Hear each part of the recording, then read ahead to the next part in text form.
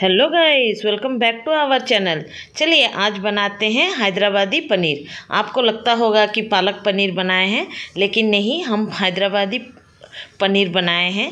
कुछ स्पाइसेस जो है साउथ इंडियन स्टाइल में डाला जाता है तो ये वाला बन जाता है हैदराबादी पनीर। चलिए, आज इसी को ही बना के दिखाएँगे। अगर अच्छा लगे तो लाइक, कमेंट, शेयर कीजिएगा और जितने भी नए दोस्त देख रहे हैं, सब्सक्राइब करना बिल्कुल नहीं भूलिएगा। सब्सक्राइब करके बेल आइकन को दबाकर नोटिफिकेशन ऑल कर दीजिएगा, ताकि हम जो भी वीडियो अपलोड करें, आप तक तुरंत पहुँच जाए। चलिए, देख लेते हैं आज का रेसिपी यहाँ पर देखिए, हम पेन चढ़ा चुके हैं, तेल डाल दिए हैं। यहाँ पर दो मीडियम साइज़ का प्याज को हम रफली चप करके डाल दिए हैं और एक बड़ा सा देसी टमाटर डाल दिए हैं, थोड़ा खट्टा लगेगा बोल के। और यहाँ पर ही हम पंद्रह से बीस गली लहसन दिए हैं, तीन चार हरी मिर्च को दे दिए हैं और इसको थोड़ी देर के लिए हम लोग सोटे कर लेंगे। ताकि प्याज और टमाटर थोड़ा सा गल जाए। इसी में ही हम सारे मसाला को भी डाल देंगे।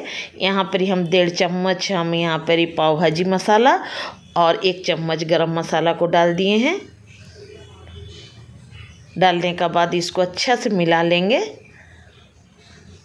और यहाँ पर ही हम करीबन वन फोर्थ कप हम यहाँ पर ही डेसिकेटेड कोकोनट को डाले हैं। आप चाहें तो आपके पास अगर हो ताज़ा नारियल तो उसको भी आप डाल सकते हैं। यहाँ पर ही हम देसी पालक साग को ले लिए हैं।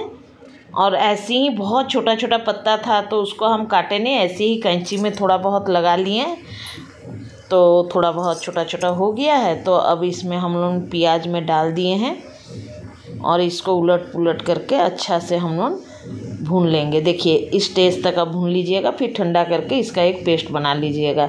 यहाँ पर हम पेन चढ़ा चुके हैं और कुछ खड़ा मसाला को डाल दिए हैं, इसको दिखा नहीं पाए, मेरा बेटा डाल दिया तुरंत ही। हम यहाँ पर हरी इलायची तीन, एक दालचीनी, दो लौंग और तेज पत्ता को हम काट लिए हैं और एक बड़ा इलायची का जो अंदर का जो बीज सब है, उसको डाल दिए हैं। इससे बढ़िया खुशबू निकलने के बाद जो पेस्ट करके रखे हैं, पालक साग को, उसको हम लोग इसी में डाल देंगे। ये बहुत जल्दी उछलने लगता है हाथ उत में तो आप थोड़ा केयरफुली ही इसको बनाइएगा, क्योंकि बहुत ज़्यादा उछलता है। मेरा बेटा का ऊपर भी उछल गया है, वो कैमरा पकड़ा है तो इसीलिए हम यहाँ पर ही थोड़ा से बंद कर कर के ही मसाला को डाल रहे हैं। यहाँ पर हाफ़ टी स्पून हल्दी पाउडर को डाल दिए हैं।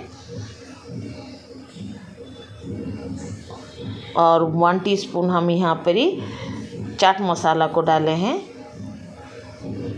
चम्मच बहुत छोटा था, बोल के दो बार डाले हैं। और इसको अच्छा से अब हम लोग मिला लेंगे। बहुत ज़्यादा उछल रहा है, पूरा मेरा किचन काउंटर को पूरा ख़राब कर दिया है। उछल उछल के। मेरा ही गलती है कि हम इसको पेन में बनाए हैं। कढ़ाई में बनाते तो इतना उछलता नहीं।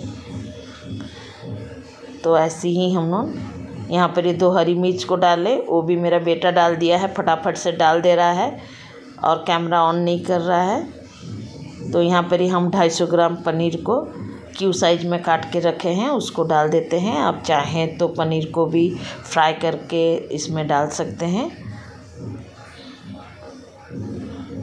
तो अब इसमें हम लोग क्रीम को भी डाल देते हैं। एक घर का क्रीम है, फ्रेश क्रीम है तो उसको हम डाल दिए। डाल के अब अच्छा से मिला लेंगे। जबकि हम चाट मसाला दिए। चाट मसाला में नमक रहता है तो उसको अंदाजन रख के फिर नमक डालिएगा। यहाँ पर हम स्वाद अनुसार नमक को डाल दिए हैं और इसको अच्छा से अब मिला लेते हैं और हम ढक्कन ढक दिए हैं, क्योंकि बहुत ज़्यादा उछल रहा था। यहाँ देखिए, पूरा ख़त्म हो गया है ढक्कन जो है। ये देखिए, ढक्कन का हालत क्या है तो आप सोच सकते हैं। तो यहाँ पर हम लोगों का पूरा बन के तैयार हो चुका है। हैदराबादी पनीर। चलिए, अब हम आपको प्लेटिंग करके दिखा देते हैं। उसका ग्रेवी को देख रहे ना गाइस कितना गजब का हुआ है। और टेस्ट में तो एकदम लाजवाब इसका साथ में आप हम बटर रोटी बनाए थे, ऊपर से क्रीम को डाल दे रहे हैं।